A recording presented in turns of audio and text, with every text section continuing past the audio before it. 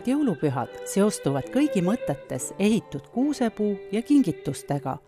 aga elades kristlikus kultuuriruumis, on sobilik mõtiskleda ka jõulude sisulise tähenduse üle.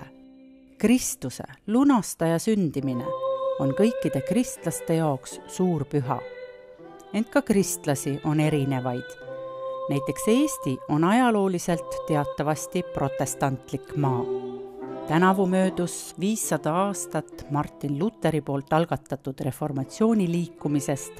ning sellega seoses seame esmalt sammud Eesti Ajaloomuuseumisse, Suurgildi hoonesse, näitusele Kelle usk on õige.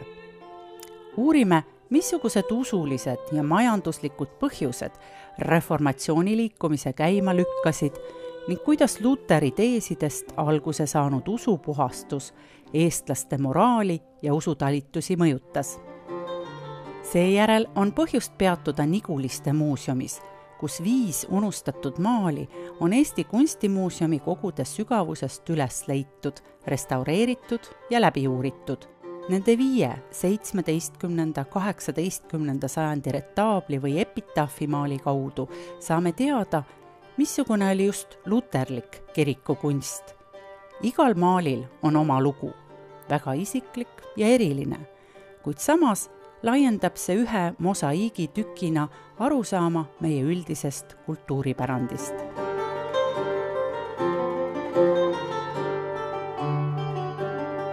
siin me oleme siis peasüüdlase portree välja pannud, see on küll kahjuks koopia Lukas Granachi vanema portreest Martin Luther ei alustanud tegelikult tühjast kohast, et need küsimused olidki siin vara-, varasematel aegadelgi üles tõusnud, aga Luther ilmselt siis eh, tundis endas nii palju söakust, et see teema lõplikult üles võetud. Ja miks, miks see selline reformatsiooni liikumine algas, oligi siis eh, üks põhjus, oli selgelt religioosne, et eh, inimesed ei olnud enam rahul sellega, mida pakkus kirik nendele hingeõnnistuse ja sellise rahulduse saamiseks. kõik oleme patused, keskaegne inimene oli, tema lisand on, et inimene on religioosne inimene ja talle tegi siis muret need kiriku lahendused, mis olid siis äh, väga sellised kommertslikud. oli võimalik äh, osta a la kas indulgentse, osta endale eespalveid, annetada lihtsalt kirikule raha ja et see, see tundus liiga pealiskaudne ja see on see üks paber, mi-, mille siis või, võis osta, et äh, indulgentsi, et ta ei ole nagu, selles mõttes ta ei ole paber, mis kustutab kõik sinu patud ära ja annab andeks, aga ta on niisugune nagu eel, eelmaks selle eest, et kui sa sinna teispoolsuse lähed, seda ostes, siis sul on sul nagu nii-öelda ette, ette juba natuke andestatud, et aga sind, sellest patust ei ole sind vabastanud, see kiri ei ole. surmapatte on siin võimalik ühe kuueteistkümnenda sajandi alguse konspekti järgi õppida. et siin on keegi, keegi teinud endal siis äh, pattude esitähed üles kirjutanud, niimoodi nad siis äh, selgeks õpitud mm. -hmm aga need surmapatud jäid kõik samaks, et ega siin oli ju, see oli ikkagi piibli sõna. natukene kärpis neid, aga need põhi, põhipatud, need jäid ikka alles, jah. Luteri sõnum oligi selline, et kirik peab sellest äh, trillist, trallist, trianglist puhastuma ja tuleb keskenduda rohkem siis selle jumala sõnale ja ja piibel ikkagi on siis see üle, ülemallikas, mille kaudu seda jumala sõna äh, levitada. kui katoliiklik see kirikuelu, just see kiriku ümber käiv, oli äh, tegevus, mis on äh, suunatud nagu nii-öelda Jumala auks ja kuulsuseks, siis äh, Luteri sõnum oli, et kõik me, see, mis me teeme, see peab olema Jumala teenimiseks. Eestisse jõudis tegelikult reformatsioon väga kiiresti, et siin olid ka omad põhjused kui see Luteri teesidega väljatulek, noh, toimus ta siis nii, nagu kõik armastavad jutustama, kirikuseina äh, usele naerutades või toimus ta kuidagi teisiti, et see toimus siis tuhande viiesaja seitsmeteistkümnendal aastal, aga siin oli juba kahekümnendatel aastatel olid juba suured diskussioonid. üks põhjus, miks see nii oli, oli ilmselt ka siis selline Eesti ja Liivimaa, praeguse Eesti ala, niisugune natuke teistmoodi poliitiline olukord, et äh, meie Eh, meie maal oli eh, kirikuvõim oli natuke, natuke erakordselt suur ja seetõttu, seetõttu just siis ilmaliku võimu teostajad asusid äh, neid luterlikke ideid varmalt toetama, nägi, nähes seal võimalust võidelda siis selle kiriku ülemvõimu vastu. Et oli nii linnaraad, kelle eliit äh, koosnes, kogunes siiamajja, kus see näituski on, Tallinna Suurgildi, kust päriselt ju kõige, kõige tähtsamad linnaametnikud, ja oli ka, oli ka mõisnikud, olid äh, Luteri taga, aga noh, mõisnikud said kiirelt mõned, mõned sellised järeleandmised ja siis äh, nad nii aktiivselt ei, ei võidelnud, aga gildihoones siis toimusid need suured ja ägedad dispuudid, ega ilmselt päris üksmeelselt ka seda nüüd kõike ei toetama ei hakanud, et üks asi, mis äh, reformatsiooni müüti kasvatab ja, või elus hoiab, on see, et ega meil ju ei ole selliseid selgeid kronoloogiaid ja sündmuste kirjeldusi, et kuidas, kuidas need asjad siin juhtusid üks muidugi oluline asi, mis aitas ka selle sõna, sõna levimisel, on see tänu Gutenbergi leiutisele, ehk siis trükikunst, raamatuid hakati rohkem trükkima, raamatud jõudsid siiamaani kiiresti, nii et näitusel oleme selle osa nimetanud meediarevolutsiooniks, et, et see nii-öelda sai oma sõnumit levitada. ja meil muuseumis muidugi on üks eksponaat, mida me ei saa sisse tuua ega välja viia, aga nüüd, nüüd ta on leidnud ka oma koha, et siin on ju see maal, suur lünettmaal sellest, kuidas siis reformatsioon jutlustajad Tallinnasse saabuvad. päris vast nii ikka ei olnud, et, et raehärrad seisid Raekoja trepil ja rahvas, rahvas oli valmis, kogunes neid tervitama, et karta on, et siin on see, sellist üheksateistkümnenda sajandi romantismi väga palju juurde pandud. kirikuid ümber ei ehitatud, aga ehitati või mida, mis muutus, oli siis kiriku interjöör? muutused toimusid jah, siis interjööris, et kohandati siis sellele jumala teenimisel, ehk siis kõigepealt tekkisid niisugused statsionaarsed paigale naelutatud kirikupingid, kogudus oli suunatud siis altari poole, tuli kantsel, kus siis Jumala sulale piibellikku sõna vahetas, et need olid tähtsad, katoliklus kirikus oli palju kõrvalaltareid, ristimisvaagnaid võis olla siin kohe igal pool kirikuruumis laiali, et, et sellised asjad kadusid ära, et see kiriku kogu sisustus muutus tagasihoidlikumaks mõnes mõttes aga siis ta muutus ka nii-öelda kapitaalseks, et aga me ei saa nüüd öelda, et et siin juba tuhande viiesaja kahekümnendatel, kolmekümnendatel, et need muutused ikkagi toimusid siin järk-järgult, ilmselt ka sõltusid äh, kogukonna jõukusest ja kogukonna meelsusest, et et linnas võib-olla toimusid need kiiremini ja noh, et see kõik võttis aega. kirikuruumiga seoses on siis meil ka näidata rahvale Niguliste pinkide otsalaudu, mis siis pärinevad tuhande viiesaja viiekümnendatest, viiekümnendate aastate lõpust, et need on siis niisugused tagasihoidlikumad eh, liht, lihtrahva pinkide otsalauad. kõrgkihi eh, pingilauad, mis olid kordades ja kordades uhkemad, on need kahjuks on jah, ära põlenud siis ka muutus äh, luteri õpetuse järgi ka ikonograafia, mida kasutati, et pühakute kultus äh, ju noh, ei, ei olnud enam oluline. ei olnud oluline, aga siiski minu siin selja taga olemas äh, Jumalaema Maria ja Hannes elasid selle üle. Lääne-Euroopa, Kesk-Euroopa kirikuid vaadata, siis on seal neid pildirüüste jälgi jälgi palju rohkem näha kui, kui meie kirikutes, et seal nagu kasutatakse seda mõistet pildirüüste, meie soovitame siin näitusel kasutada hoopis kirikurüüste, päeva- või paaripäevased aktsioonid, mis siin siis Eesti ja Liivimaal niisuguses kümnekonnas linnas toimusid. ja nende tagamaad on äh, väga erinevad, et see ei olnud pelgalt ainult niisuguse äh, piibelliku sõnumi eest võitlemine, vaid see oligi üks väike selline ka niisugune väike marodööritsemine, kiriku, kiriku äralõhkumine. ega see Luter kah nii resoluutne ei olnud, et noh, et nüüd tuleb pühakujud ehk puusklikud tuleb, tuleb ära hävitada, vaid ta nägi kah mingit kompromissi, kui eh, sellist, et see kuju on ikkagi mingisugune nagu roll selle sõnumi ikkagi edastamisel. Eestis reformatsioon ja, ja ilmselt ka mujal on linnaline nähtus, et talupoeg elas oma vaimumaailmas, mis oli selline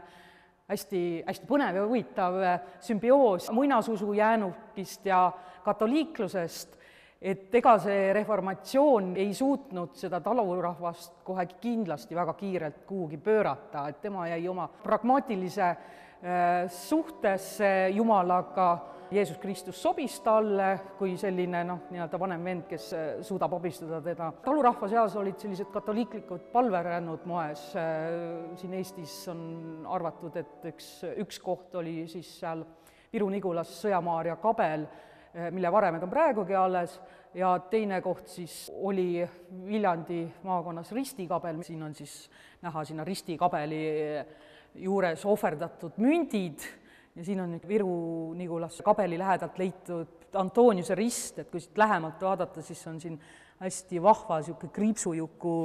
eh, Kristus, näeb välja nagu punkar on soengut kujutatud, et need võisid olla seal siis mingisugust tervendus- või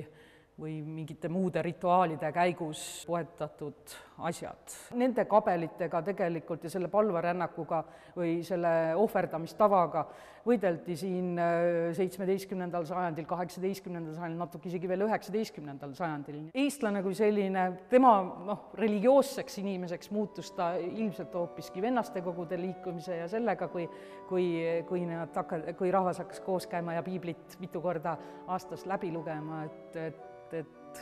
aga noh, selleks ajaks oli see piibel juba eesti keeles ja oli hea lugeda. üksildase kuke portree, et,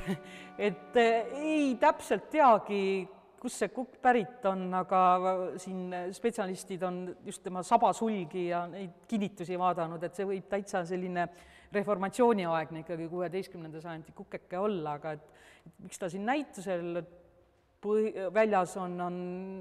üks selline legend, ma rõhutan, et see on legend, et, et äh, on ka arvatud, et need kirikud, mis äh, olid reformatsiooni ideed siis omaks võtnud, et need siis tähistasid seda torni kuke panemisega. kas see nii oli, ei tea, aga lugu on ilus.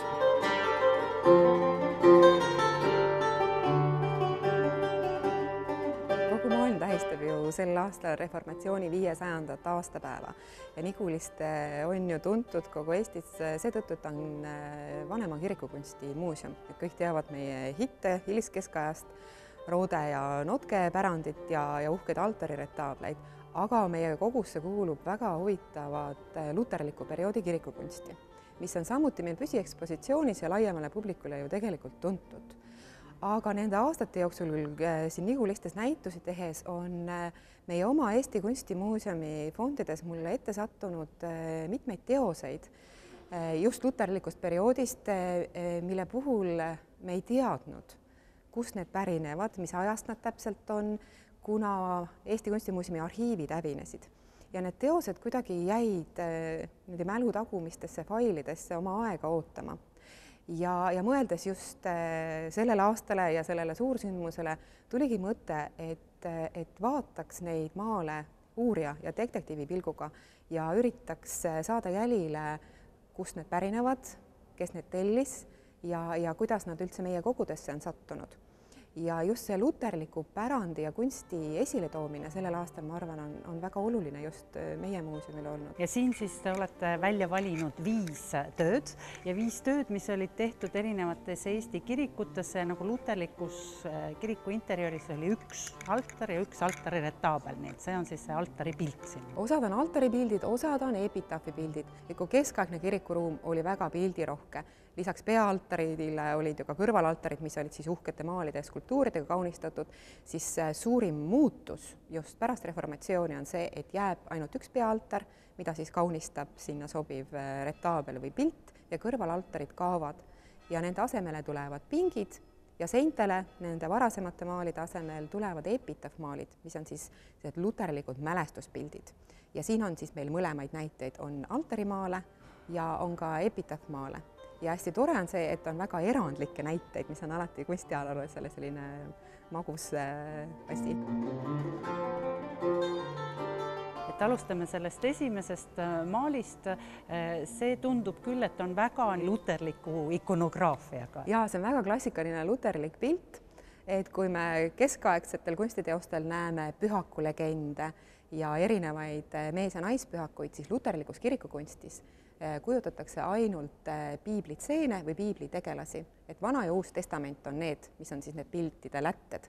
ja siin on kujutatud siis kõige olulisemat piiblitseeni,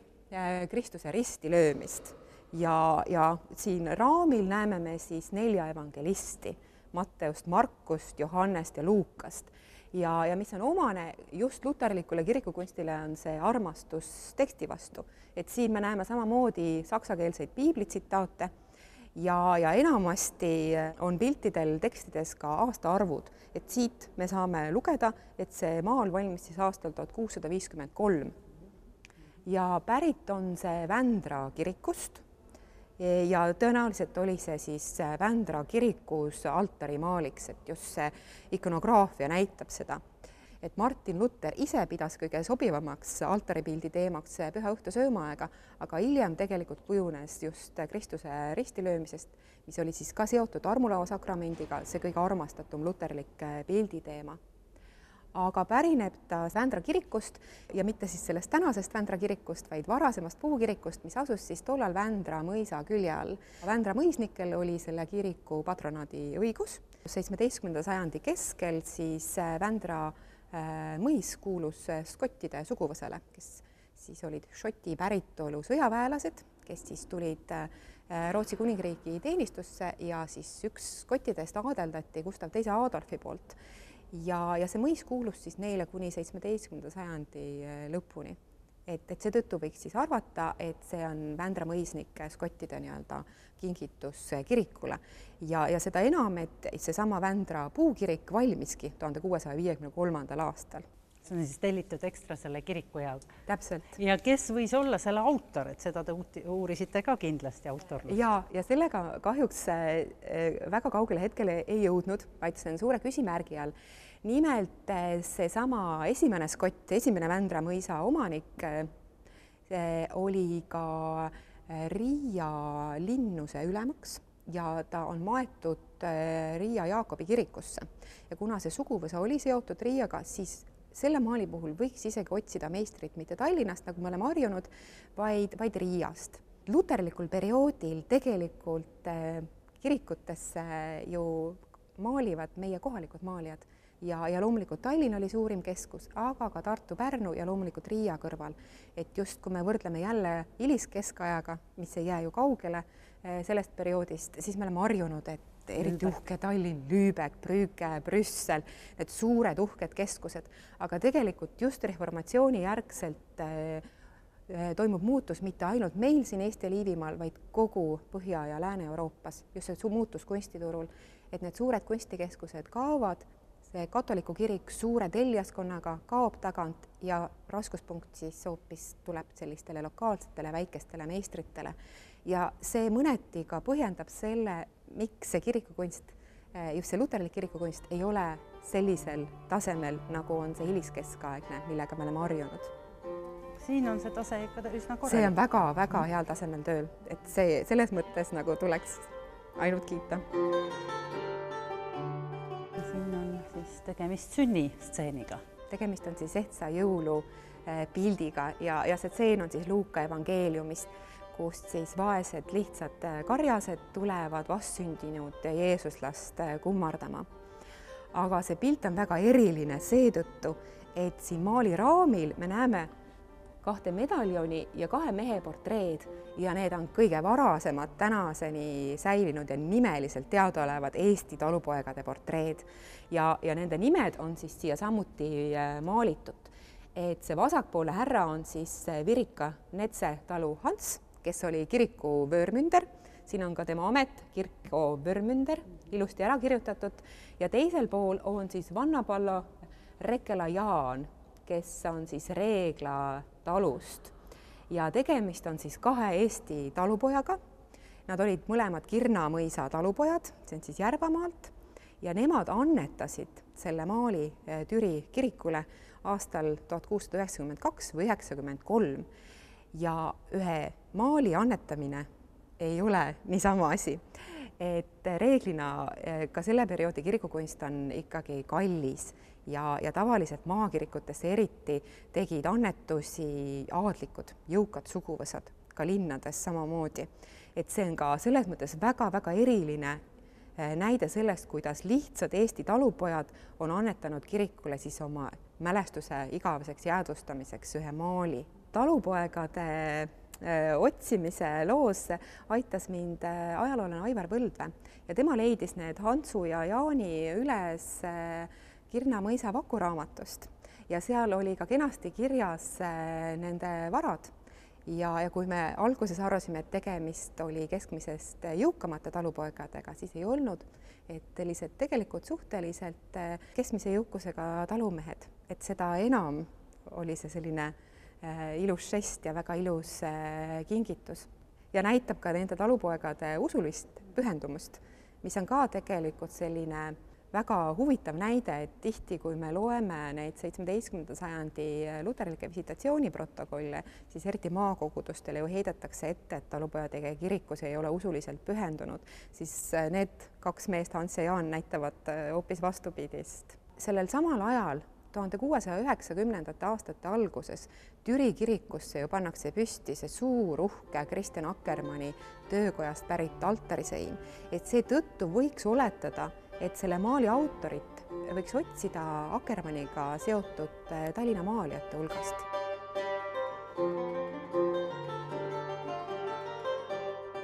Martin Luteri poolt eh, kiidetud kõige olulisem see, mis võiks olla altarimaaliks ehk siis Püha Õhtu söömaaeg. ja see on Püha Õhtu söömaaega kujutav maal ja ta on tõesti ka suureformaadiline, mistõttu võiks eeldada, et ta pärineb eh, mõne kiriku altarilt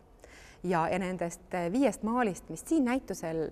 väljas on, on tema kõige suurem küsimärk. Me arvame, et see võiks pärineda Toompealt, nüüd on loomulikult küsimärk, et miks ja kust ta sealt pärineb. ja, ja siin on näha ka kahte vappi. Ja, ja siin all on siis saksakeelne tekst, millest me saame teada, et selle maali on siis eh, tellinud äh, assessor härra Magnus äh, Eckenschuld ja tema abikaasa Anna Straalmann. Ja seesama härra Egenschild oli äh, asekohtunik või assessor siis Tallinna Toompeal asuvas Linnuse kohtus. ja, ja me teame, et ta suri päris tuhande kuuesajandate aastate lõpus ja ta maeti Tallinna toomkirikusse ja tema uhke vapp epitaaf, tõenäoliselt ka Akkermanni töökojast, oli säilinud siis kuni Teise maailmasõjani, et sellest on fotod alles ja kuna see härra Ekenschelt elas ja tegutses ja ka suri Toompeal, siis loomulikult võiks ju arvata, et see maal pärineb ka Toompea mõnest kirikust või mõnest majast, aga täpselt sellele ühest vastust ei ole. et toomkiriku altariseinas see kindlasti ei ole olnud,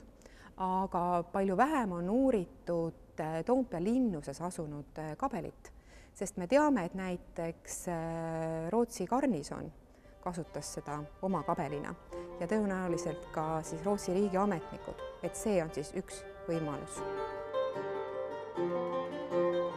See on altaripilt ja see mõnes mõttes äh, väga eriline altaripilt. see pärineb äh, Läänemaalt, Lääne-Nigula kirikust ja siin on siis kujutatud koos Püha Õhtu söömaaega ja Kristust ristil, mis on siis kaks need põhilist luterlikku pildi teemat ja just kõige armastatumad äh, pildid peaaltaril ja siin on nad siis kokku pandud. ja sellel pisikesel altari seinal on ka väga uhke baldahiin, kus me näeme siis samamoodi neid eh, saksakeelseid piibli tsitaate. see väike retaabel ei ole säilinud oma algsel kujul, et siin on üleval baldahiinil näha sellised väikesed tüüblid, et seal on olnud algselt sellised puidust vapid ja need vapid kuulusid siis Aderkasside ja Küllenloodide suguvõsale. ja Lääne-Nigula kiriku raamatust äh, võib lugeda, et aastal tuhat seitsesada kuuskümmend neli siis äh, Georg Gustav Aderkas ja tema neljas abikaasa äh, kinkisid selle väikese altari seina Lääne-Nigula kirikule, aga mitte pikihoonesse, mitte peaaltarile, vaid sellisel vanaldasel aadlipaaril oli siis käärkambris oma väike eraaltar, kus siis äh, nad armulava sakramenti vastu võtsid, et see oli siis ainult neile kahele mõeldud mis üldjuhul ei käinud üldse kokku selle luterliku kiriku kontseptsiooniga, et mingeid kõrvalaltareid ei ole, on üks äh, peaaltar ja seal kõik käivad. ja täpselt nii. Ja see on väga erandlik, et selles mõttes Eesti kontekstis on see ainus, võib ka öelda esimene teadaolev näide sellest. Ja, ja võib-olla just tänu sellele leiule me hakkaksime hoopis teise pilguga ka arhiiviallikaid vaatama et, et, et see on ka küsimus, et kas see on selline ühekordne praktika või tõesti siin kohalik aadelkond lasi endale erandeid teha. ja see Lääne-Nigula väike altarisein tuli Eesti Kunstimuuseumi kogusse päris tuhande üheksasaja kahekümnendate aastate alguses. siin oli vihjeks väike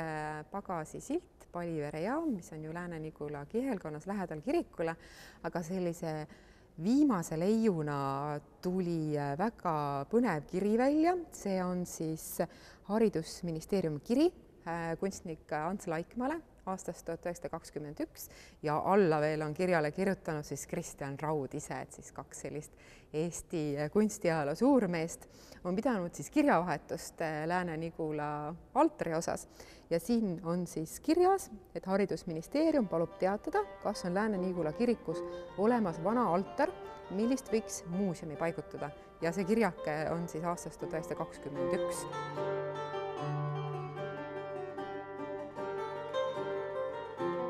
See suures formaadis töö on pärit äh, Tallinnast äh, Jaani Seegi kirikust. Ja see on nendest viiest äh, maalist kõige hilisem, siis. Tõenäoliselt kaheksateistkümnenda sajandi teisest poolest. Ja, ja kujutab see siis Vana Testamendi lugu vaesest Laatsarusest ja rikkast mehest, et see on selline moraliseeriv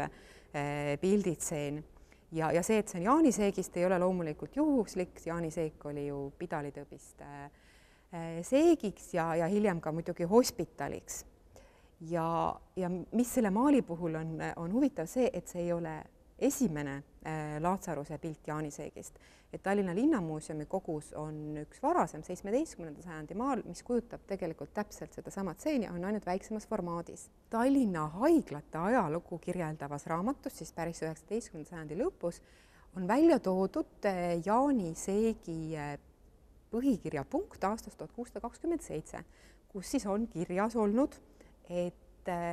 et heidetakse siis ette äh, haigemaja maja äh, liikmetele või nii-öelda nendele vaestele, et nad kerjavad raha äh, värava ees, et nad ei tohiks seda teha. Ja seal on ka mainitud seda, et õige oleks, kui selle värava kohale ja, ja müürile pandaks üles vaese Laatsaruse pilt ja, ja et siis on nagu kõik õige, nii kuidas olema peab. ja, ja, ja see annab ka meile sellise väikese vihje, et võib-olla need Laatsaruse maalid, mis Jaani Seegist pärinevad, ei olnud üldse mõeldud alguses kirikuruumi, vaid just välja sinna värava kõrvale. aga see töö on, on väga tore, ta on selline naivistlik ja, ja, ja hakkab just eh, silma sellega. ta, kuna ta on uurimislik, siis ta on suhteliselt äh, teksti- ja pildirohke. ja, ja et kõik, kes tunnevad huvi, saavad siia juurde lugeda, et just see, just see, siin on meie ees praegu see Jaani Seegi maali, maaliraamat, et siin siis samamoodi on see lugu, see, kuidas need teosed on Eesti Kunstimuuseumi kogusse jõudnud, sest et nendest viiest neli on olnud ligi sada aastat meie kogudes et päris siis tuhande üheksasaja kahekümnendate aastate alguses, mis samamoodi on omamoodi ajalugu. Nende maalide puhul ma julgeks küll öelda, et iga töö puhul avanes omaette väike maailm nende inimeste lugudega, nende piltide enda äh, funktsiooni ja rännulugudega. näituse Viis unustatud maali, see, see pealkiri Unustatud osutabki sellele, et tegelikult äh, nii äh, kodudes, kirikutes, muuseumites on vana pärandit, mis mingitel põhjustel on unustuse hõlma vajunud ja mis nii-öelda aeg-ajalt äh, taasleidmist äh, ootab ja, ja, ja õnneks ka leiab. soovime ilusat jõuluaega ning vaimukasutuseks astuge aastalõpupühade vabadel hetkedel läbi ka mõnest kirikust või muuseumist